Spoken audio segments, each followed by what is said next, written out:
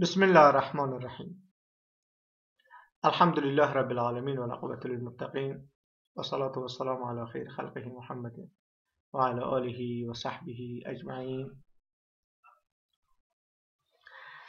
در سلسله جلسات مضمون سیره حدیثی قرار داریم. البته ضمن ثقافت اسلامی پوانزه طب است.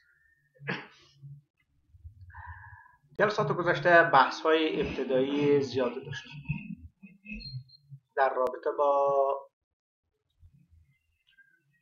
معنای لغوی و اصطلاحی ثقافت اسلامی اهداف ثقافت اسلامی و همچنین مباحث مهمی که در مضمون سیره حدیثی می‌خوانیم. در فصل اول و دوم و سوم بالاخره چه موارد خوانده میشه؟ و دقیقا جلسه گذشته معنای لغوی و اصطلاحی سیرت را گفتیم. سیرت در لغت به معنای منهج طریق روش و حالی که انسان و شی بر آن قرار داشته و در اصطلاح تحقیق پژوهش و بررسی مجموع زندگی پیامبر علیه است اخلاق صفات ویژگی ها غذوات اخبار و کارهایی که در آن زمان به وقوع پیوسته است.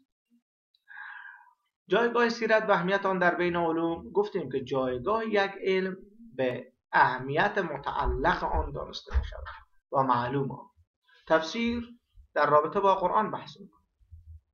اصول تفسیر در رابطه با قرآن بحث می‌کنه. حدیث در رابطه با گفتار رسول گرامی اسلام بحث می‌کنه. اهمیت ویژه و خاصی دارد سیرت هم که مجموع زندگی و حیات پیامبر بزرگ اسلام را میرساند اهمیت خاصی دارد البته در عصر صحابه سیرت جزء از حدیث بوده است. مطلب دیگر داریم. مطلب سوم فواید خواندن سیرت. صفحه 15 کتاب شما هدف از خواندن تدریس و تعلیف کتاب های متعلق به سیرت چی است بلاخره از برای این مطالب می‌خواهیم به چه چی چیزی دست پیدا کنیم؟ آیا صرف انباشتن اطلاعات و معلومات است که معلومات ما زیاد بشود و بالاخره همون جنرال انفورمیشن را زیاد بکنیم و یا بحث های دیگری هم داریم. خیر ما بحث های زیاد دیگری را تعقیب می‌کنیم. هدف اول از اهداف و از فواید خواندن سیرت بهره گرفتن از دروس موعظه ها پندها و اندرزهایی است که در سیرت گفته است. این اولین هدف از تحقیقات سیرت است. چرا که آشنایی با سیرت پیامبر انسان به پیروی از ایشان برمیانگیزد و ما از نگاه شرعی مکلف و مجبور هستیم که از پیامبر بزرگ اطاعت و پیروی کنیم. چون اطاعت از پیامبر اطاعت از الله هست در واقع. حاشیه و رفرنس صفحه 15 خود را نگاه کنید حاشیه سوم. اطاعت از پیامبر اطاعت از الله هست و من یطع رسول فقط اطاع الله. اگر کسی از پیامبر اطاعت کند در واقع از الله اطاعت کند. و من تولا فما ارسلناک علیهم حفیظا و اگر کسی روی برتافت و اعراض کرد ما تو را بر آنها حفیظ و نگهبان نفرستادیم. الله حسابشان را می‌کند. کراما کاتبین یعلمون ما تفعلون. کسانی هستند که تمام کارهایشان را ثبت می‌کنند. پس قل اطیعوا الله و اطیعوا الرسول. قل اطیعوا الله و الرسول. فان تولوا فان الله لا يحب الكافرین. بگو از الله و پیامبرش اطاعت کنید. و اگر روی برتافتند الله کافران را دوست ندارد. کسی که از فرمان پیامبر روی برتابد و به کلی آن را نپذیرد الله چنین اشخاصی بیدین را هرگز نمیپسندد همچنین اطاعت از پیامبر دلالت بر ایمان شخص می‌کند. فلا و ربک لا یؤمنون حتی یحکموک فیما شجر بینهم. ثم لا یجدوا فی انفسهم حرجا مما قضیت و یسلموا تسلیما. نه سوگند به پروردگار تو که ایمان ندارند مگر ای که تو را در مشاجرات بین خود حکم قرار دهند و سپس از آنچه که فیصله کردی در خود احساس دلتنگی نکنند و کاملا سر تسلیم فرود بیاورند. پس اطاعت از پیامبر دلالت بر ایمان شخص می‌کند همچنین اطاعت از پیامبر موجب محبت الهی میشه قل ان کنتم تحبون الله فاتبعونی یحببکم الله. بگو اگر شما الله را دوست دارید پس از من تبعیت کنید. از من پیروی کنید تبعیت اتباع تا تقلید فرق دارد. از من تبعیت کنید تا الله شما را دوست بدارد و کارهای شما را نیکو بگردد همچنین اطاعت از پیامبر سبب مغفرت انسان میشه رب العزت میفرماید و یغفر لکم ذنوبکم از من پیروی کنید الله شما را دوست بدارد و گناهانتان را برای شما بیامرزد. سوره آل عمران آیت شماره 31 همچنین اطاعت از پیامبر موجب هدایت است. و این تطیعوه تهتدوا و اگر از او اطاعت کنید حتما رهیاب می‌شوید. هدایت یافته می‌شوید. سوره نور آیت 54 اطاعت از پیامبر امتیاز همراهی با انبیا و صالحین و صدیقین را در پیدا. و من یطع الله و رسول فاولئک مع الذین انعم الله علیهم من النبیین و الصدیقین و الشهداء و الصالحین و حسن اولئک رفیقا. اگر کسی از الله و پیامبر اطاعت کند در واقع این اشخاص با پیامبران و با صدیقان و شهیدان و صالحان که الله با آنان نعمت ارزانی کرده و آنها همراهان خوبی هستند حشر میشه همچنین اطاعت از پیامبر سبب کامیابی و فلاح انسان است. و من یطع الله و رسوله یدخله جنات تجری من تحتها الانهار. اگر کسی از الله و پیامبر اطاعت کند رب العزت او را به جنت های وارد می کند که از فرودست آن جویبارها در حرکت است. همچنین اطاعت از پیامبر باعث این می شود که انسان با سیره آن حضرت و با روش آن حضرت آشنایی بیشتر به دست بیاورد و و از ایشان تبعیت کامل بکنه و در هر موضوعی در هر مسئله در هر عبادت در هر بخش پیامبر را به حیث قدوه و اسوه و همو بزرگ زندگی خود قرار بده. چنانکه پیامبر علیه السلام فرمودن صلو کما رأیتم المصلی همانطور نماز بخوانید که من نماز می‌خوام هر کس از خود روش در نماز خواندن ابداع و اختراع نکنه. نگاه کنید من چطور نماز بخوانم شما هم همینطور نماز مناسک خود را از من بگیرید و موارد دیگر. شما صفحه 15 و 16 کتاب خود را نگاه کنید در رفرنس پس فواید خواندن سیرت. فایده اول و یا هدف اول بهره گرفتن از دروس موعظه ها اندرس ها و پندهایی که در سیرت نهفته است.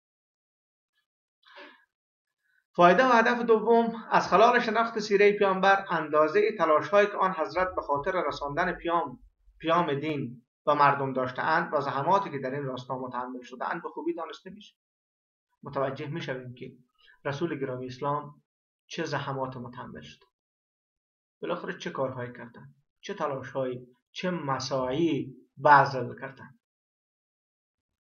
از اولین روزهایی که جبرئیل ایشان را در غار حرام می‌بیند و پیام الهی را میرساند تا هنگام وفات.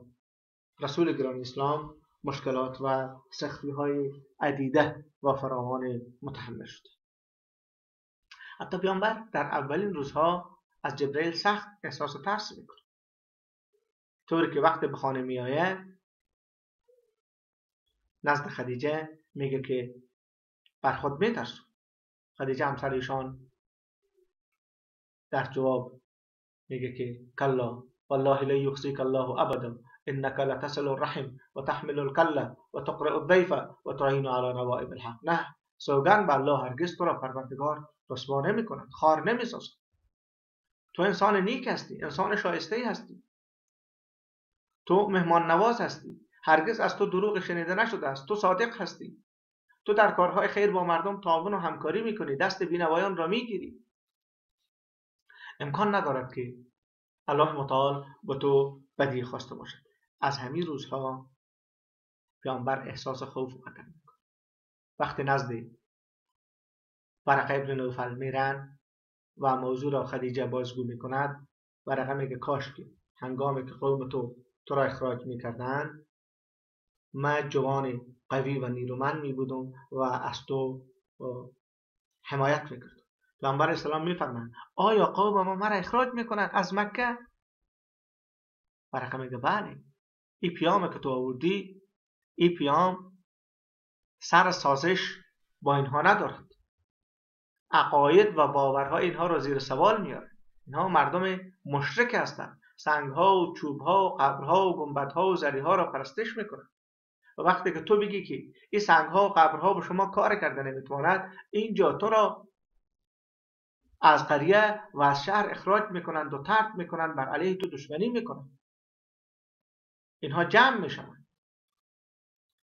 و بالاخره در می‌بینیم که در مکه مشکلات فراوان رسول گرام اسلامی وقتی که به مدینه منوره میآیند در مدینه با چالش ها و با مشکلات جدید برمیخورند و روبرو می‌شوند در مدینه سه طایفه حاقد و کینتوز یهودی زندگی می‌کنند بنو نظیر بنو قریزه و بنو قینقا که در برابر رسول گرامی اسلام از هیچ دسیسه فروگذار نمی‌کنند در مدینه منافقین هستند. در مدینه قریش هر سال با لشکر عظیم نظامی اسکری بر مدینه یورش می آورند. و اینجا مسلمان ها را در در احد و در خندق به چالش می‌کشند در مدینه قوت های بیشتر دست به دست یکدیگر می‌دهند و بر علیه پیامبر توطئه می‌کنند و در جنگ ها با آن حضرت روبرو می‌شوند و مقابله می‌کنند. پس از خلال شناخت سیره پیامبر اندازه تلاش های ایشان را متوجه می شویم که در راه رساندن این دین چه تلاش ها و چه زحمات کشیده دین با آسانی نرسیده است. حالا ما فعلا حالا پدر ما مسلمان بوده است ما هم مسلمان است اما در آن زمانی که پیامبر این دعوت را آوردن پدر کسی مسلمان نبوده است. روی نسل جدید باید کار بشود. و مشکل بود که مردم باورهای خود را ترک باورهایی که بر آن اونس گرفته بودند و بر آن خو گرفته بودند و بر آن رشد کرده بودند و بر آن بزرگ شده بودند و از آن دفاع می‌کردند و به خاطر آن حاضر بودند هر کار انجام بدن. می‌بینیم که حتی در صحنه های جنگ بر علیه پیامبر استاد می‌شوند به خاطر باورها و به خاطر عقایدش. هدف سوم در ضمن درس سیره با صحابه کرام با صحابه پیامبر هم آشنایی بیشتری به دست میآوریم. از جمله ابوبکر صدیق را بیشتر می‌شناسیم. شخصیت بی‌نظیری که در تاریخ تمام آنچه داشته در خدمت رسول گرامی اسلام قرار داده است. اولین مسلمان هست دختر خود را به عقد پیامبر در میآورد ثروت خود را در این راه به مصرف میرساند از خلال دروس سیره با عمر فاروق این شخصیت بی‌نظیر تاریخ نیز آشنا می‌شویم که چطور در ابتدا سرسختانه بر علیه مسلمان ها ایستادگی می کند و بالاخره مجدانه و با تمام تلاش و با تمام سعی و کوششی که دارد از اسلام دفاع می‌کنه و در رشد و انکشاف اسلام یک نقش موثر و به سزای داشته. با عثمان و علی و طلحه و زبیر و با خالد ابن ولید با اسامه ابن زید با سعد ابن وقاص با عبدالله ابن عمر با عبدالله ابن مسعود با ابی ابن کعب و زید ابن ثابت با بزرگان صحابه و رزم آوران و جنگ آوران صحابه آشنایی زیاد حاصل میشه و به دست میاره. اینها هم محرومیت های زیادی به خاطر دین کشیدن. تلاش های زیادی مسایی زیادی بذل کردن. تا آنجا که سند و سرتیفیکت خود را از طرف رب العزت به دست می آورند لقد رضی الله عن المؤمنین اذ یبایعونک تحت الشجر.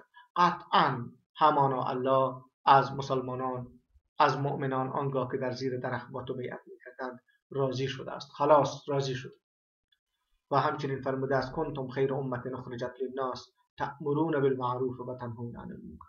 شما بهترین امت ها هستید که برای هدایت مردم پدید آمدند و بیرون شدند. به کارهای شایسته فرمان داده و از کارهای زشت باز میدارید.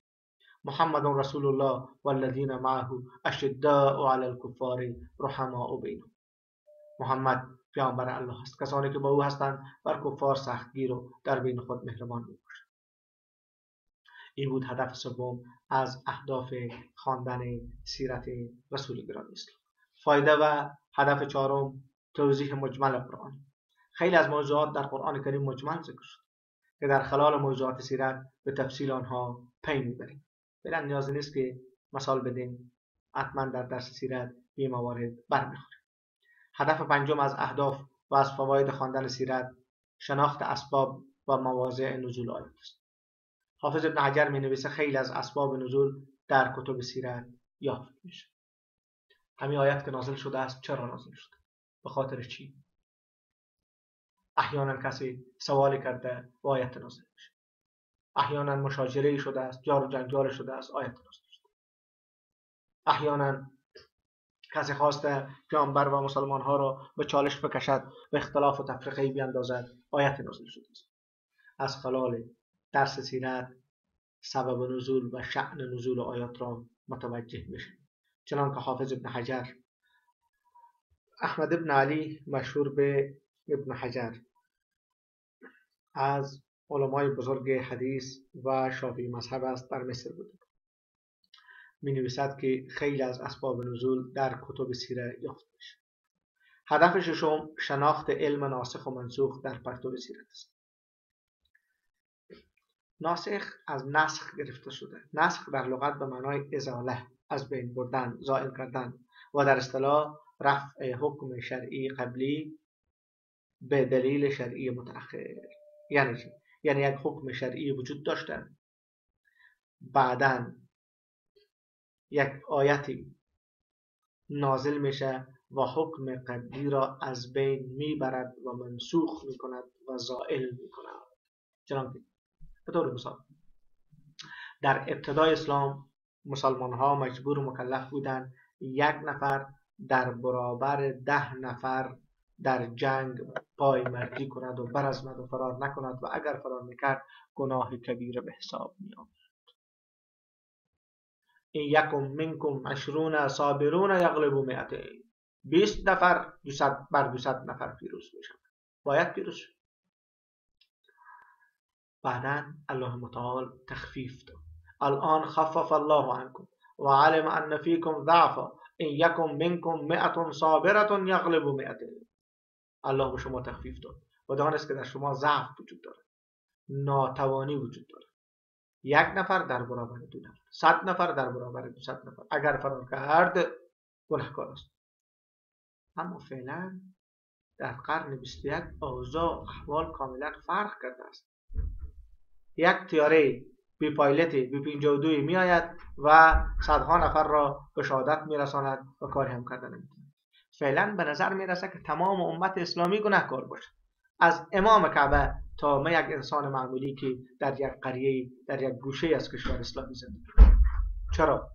به خاطر اینکه باز ما آیت داریم. و اعد لهم ما من قوه و من رباط الخیل ترهبون به عدو الله و عدوکم تمام توان و تمام نیروی خود را در برابر دشمن به کار بگیرید و اسبهای شما همیشه بسته باشد تا اینکه دشمن خود و دشمن الله را بترسانید و در قلوب آنها رعب و ترس فرو بیندازید. حالا فعلا.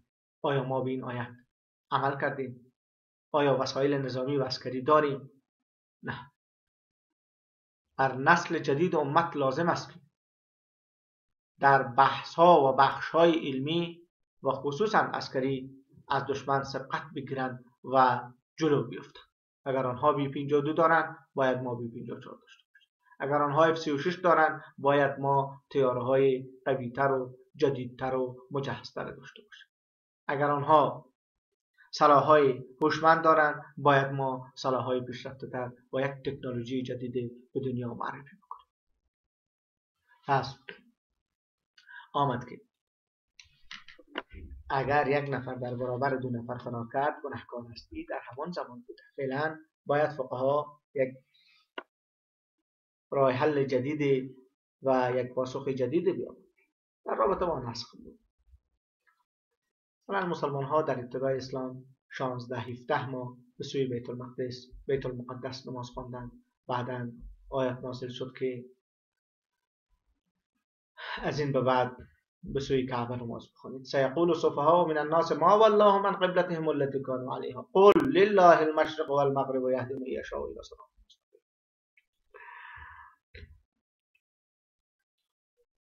البته در این رابطه ما در کجا به تفسیر صحبت کردیم؟ در تفسیر آیت احکام النسخ فی القرآن.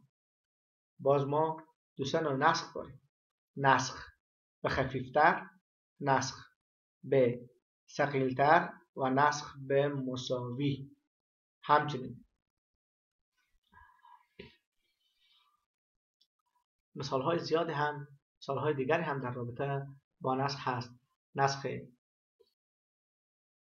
قرآن به قرآن داریم و نسخ قرآن به سنت داریم که امام شافعی آن را قبول نمی کند و جمهور آن را قبول می کند بیشتر وارد بحث نسخ نمیشه فقط متوجه باشیم که یکی از فواید یا اهداف درس سیرت آن است که علم ناسخ و منسوخ را هم در مکتب سیرت می‌توانیم بشناسیم. هدف هفتم احتمام به سیرت دلایل معجزات و اثبات پیامبری آن حضرت را بیشتر توضیح تحلیل با دانستن این معجزات و حوادث علم شخص افزود میشه و چون بر علم شخص افزوده شد ایمانش افزایش از اولین ایام زندگی تا آخرین لحظات حیات پیامبر تمام علم غیب به صورت دقیق و درست ثبت شد و در دسترس عموم مسلمان ها قرار داشت. اما درباره پیامبران دیگر این موضوع وجود ندارد. نگاه کنید. ما تمام جوانب زندگی پیامبر متوجه هست از دوران ابتدایی طفولیت تا نوجوانی و تا بعثت و تا غزوات و تا وفات. اما پیامبران دیگر چنین نبوده. ما معلومات خیلی کمی از موسی علیه السلام از عیسی علیه السلام از ابراهیم علیه السلام حتی از دانشمندان دیگر از دانشمندان هم معلومات کمی داریم. در رابطه با ارسطاطالیس حکیم بزرگ یا در رابطه با افلاتون سقراط و بقراط و بطلیمیوس و جالینوس و اینها هم معلومات خیلی کمی داریم. در رابطه با حکمایی که در چین و در هند هم بودن معلومات زیاده نداریم. اما در رابطه با پیامبر یک معلومات تفصیلی دقیق محدد و مشخص و معین و وافر داریم. همین است که نویسنده آمریکایی کتاب نوشته می‌کنه چی است اسم کتابش؟ The Hundred. یکصد انسان بزرگ دنیا. در او کتاب خود از بین صد انسان بزرگ دنیا اولین شخصی که میاره رسول گرامی اسلام میاره که تمام جوانب زندگی ایشان واضح و مشخص و مبهم برای هم هست. همچنین از خلال درس سیرت هدف هشتم اسلوب دعوتی ایشان متوجه میشیم که با موافق و مخالف چه برخورد داشتن. با منافقین مدینه چه برخورد داشتن همچنین سیرت پیامبر یک از منابع و مجاری شفاف معارف اسلامی است. لذا معلومات بیشتری به دست میآوریم. تحقیق در سیرت انسان را به محبت پیامبر سوق میده هرچه از سیرت ایشان بیشتر معلومات داشته باشیم محبت ایشان بیشتر در قلبمان جا می‌گیره همچنین آشنایی با نحوه تعامل متقابل صحابه و پیامبر. چطور پیامبر و صحابه با یکدیگر برخورد داشته صحابه چگونه رسول گرامی اسلام را دوست داشته همچنین سیرت ریز و درشت زندگی پیامبر برجسته می‌کنه و این ریز و درشت ها صدق رسالت و حقانیت بعثت به همه می‌رسه همچنین شناخت فقه و روش پیامبر در تربیت یک نسل جدید و متحول.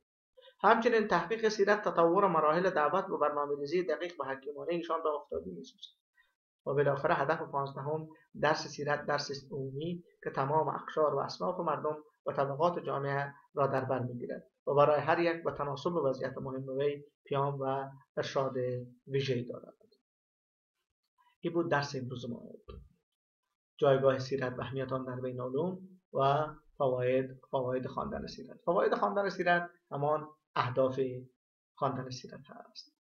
درس ما همینجا به پایان رسید و صلی الله علی خیر خلق محمد و علی آله و صحبه اجمعین.